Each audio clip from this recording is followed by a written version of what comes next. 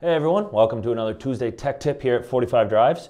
So uh, I hope a lot of you watched last week's, which I think you did because we got a lot of good feedback from it. Uh, Chris came on, showed his face, gave a little uh, little background story of of uh, his side of the the camera, and uh, asked what everyone wants to hear about this year. So we heard that, and we got a great response from all kinds of people, everything more about Ceph and even expanding it further. So really, really excited to see that you guys are excited. So thank you for that.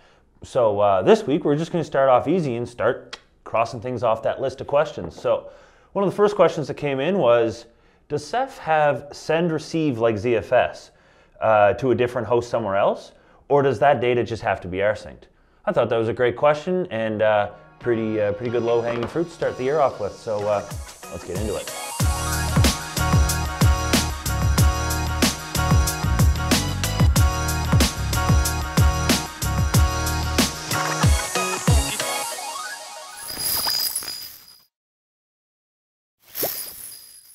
Okay, so uh, does Ceph have send receive much like ZFS does? So quick little primer for everyone who doesn't know about ZFS send receive. One of the really cool features of ZFS, the uh, ZFS file system, is the ability to literally just up and send a data set or a directory, um, that's what you can think of it, to another ZFS pool somewhere else. So if you want to copy data, you don't have to send the files over. You literally just go, hey, you data set, go over there, please. And you send it from the sender and you receive it on the receiver. And it's a really, really clean kind of, um, it's just a really clean way to move data around. Uh, so that's one of the reasons why we love ZFS here for backing things up. So great question that someone asked, does Ceph do the same thing? So as always, I have to prime this. Remember, Ceph does three ways to access your data. It does CephFS uh, file system. It does object access either through its uh, uh, native APIs or more commonly through S3 gateways or uh, RBD block devices. So we'll leave S3. That's a little, that's out of the scope of the answer to this, so we're not going to talk about that right now. You asked, uh, so does it just have to be air rsynced? So we'll start with CephFS because you're talking file system this way. So um, there is now a native tool in CephFS as of version uh, Pacific. Uh, that's version 16 of Ceph. Um, that's called CephFS mirroring. And what it is, is it's snapshot mirroring. So essentially, yes, it works just like send and receive. There's no kind of ad hoc command for just firing it over. It's a daemon that runs in the background. So what you would do as an administrator is you'd go to your computer, uh, boom, boom, boom, set it all up, and uh, what goes down there is you can set it at the directory level. You can do it at subdir, you can do it at the top level, you can kind of pick and choose. And the caveat to this CephFS mirroring, this native feature in uh, the latest version of Ceph, is that you must send it to another CephFS cluster.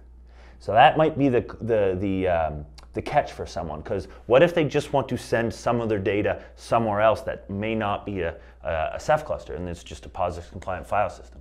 Well, to do that, we have built a tool here that we've talked about before called Ceph GeoRep.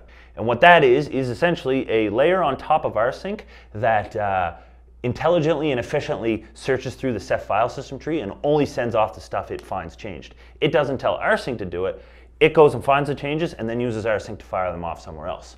What's cool about this one is that you can send these files anywhere. You can send them to any POSIX compliant file system that has rsync on the receiving end. The only caveat to this is it doesn't function like send and receive. You're not sending a whole snapshot. You're sending a live, you're sending from a snapshot, but it's sending file by file rather than like a kind of block of it, if that's the sound effect of that. Um, anyway, so that's how you would do it with CephFS. You'd use CephFS mirroring, which is the most like send and receive, but you need a receiving Ceph cluster on the other end to do that. Or you can use Ceph GeoRep and send from CephFS to any POSIX compliant file system that has rsync on the other end, but it sends file by file rather than a whole kind of block. Different sound effect that time.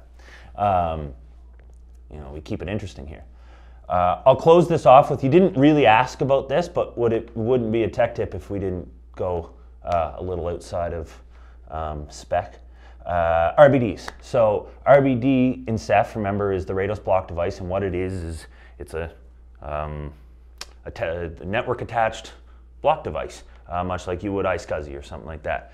Um, RBD does have a very similar function to send and receive. They call it import export. Um, as you can kind of see, export is very similar to send and import is very similar to receive. And the actual command line syntax, if you, if you saw the command, uh, as you will in the B-roll, you would just go RBD, send uh, the, the image you wanted, it's not send, export to standard out, and then you can pipe that and SCP it over network to somewhere else. Again, you would have to do that to another Ceph cluster. To go RBD export to RBD import, you'd have to have commands that understood that on both ends. What's cool about that too is maybe you just want to send these image files somewhere safe. You could just export it to an image file and then sync that off somewhere else. So that's how send and receive is done with things like Ceph. All right, so that was that. That was a quick overview of, of how you can send and receive ZFS style in Ceph. Um, I hope, I hope you enjoyed that. I hope it answered your question. If it didn't, uh, let us know. We will expand. And uh, thanks, for, thanks again for watching. Thanks again, more importantly, for watching last week's video. Thanks for engaging. Tell us exactly what you guys want. Um, and, uh, well, stay tuned.